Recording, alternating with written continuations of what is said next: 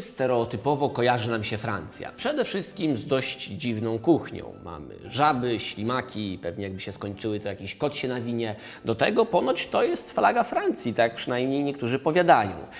Musimy dorzucić całkiem smaczne wina, dobre produkty i francuskich kucharzy, którzy bardzo śmiesznie mówią w polskiej telewizji. E, Wiemy, że język polski nie należy do najłatwiejszych w opanowaniu. Z językiem francuskim jest podobnie, chociaż są tacy, którzy opanowali go świetnie.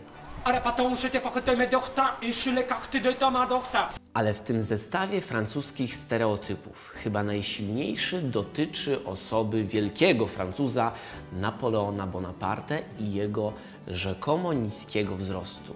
Jak z tym było naprawdę? Z dokładnymi opisami wzrostu Napoleona jest trochę tak jak ze zdrowym rozsądkiem Sejmie. Niestety nie ma tego za dużo.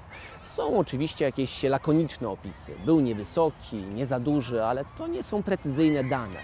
Nieco dokładniejszy opis daje nam dopiero Frederick Maitland, kapitan, który aresztował Napoleona. Przebywał z nim parę dni i dostarczył ciekawych obserwacji. Na przykład, że Napoleon miał doskonałe kostki i stosunkowo małe stopy. Ale to jeszcze nie wszystko.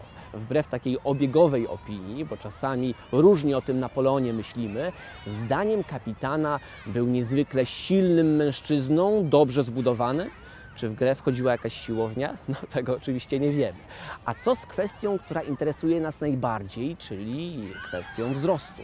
Zdaniem Maitlanda Napoleon mierzył 5 stóp i 7 cali. Po szybkim przeliczeniu wyszłoby nam około 170 cm, a to nie mało.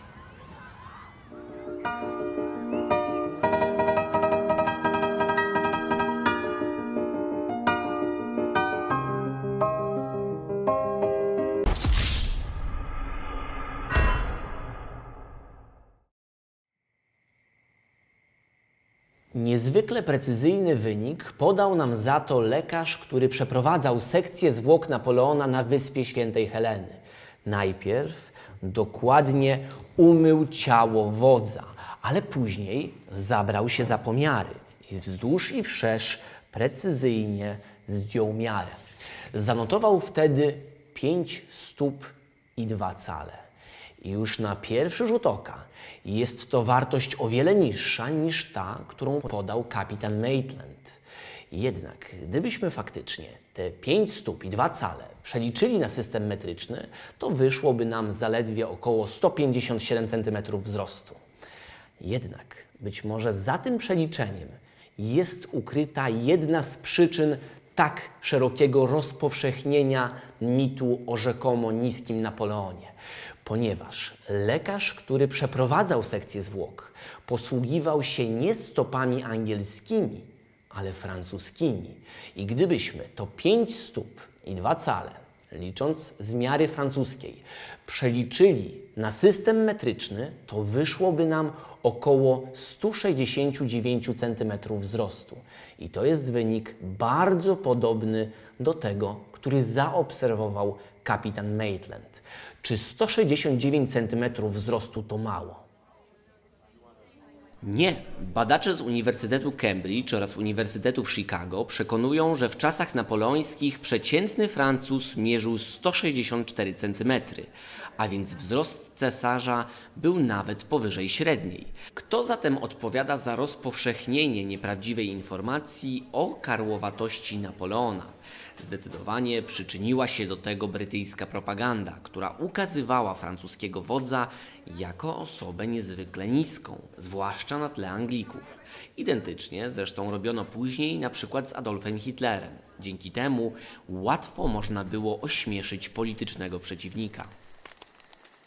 Ale ktoś z Was powie, co ten Kotarski opowiada za banialuki? Przecież przydomek Mały Kapral jednoznacznie udowadnia niski wzrost Napoleona.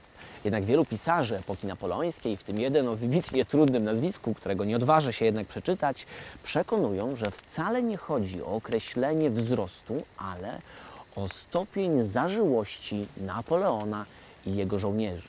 Po jednej z bitew, gdy opadł już kurz, Nastał wieczór. Napoleon być może przy ognisku siadł ze swoimi żołnierzami i wtedy oni nazwali go Małym Kapralem e, po to, aby pokazać mu, jak dużą darzą go sympatią, a nie jak starają się go obrazić w odniesieniu do jego wzrostu. Dlatego znacznie bliższy prawdzie chyba byłby obraz Napoleona jako człowieka, który przy ognisku piecze sobie spokojnie kiełbaskę, niż Napoleona jako człowieka wybitnie niskiego. A propos tej kiełbaski, kierowniku, może na pół byśmy ją zjedli, by się udało? Mało, mało. Czyli może nie niski, ale na pewno hamidło.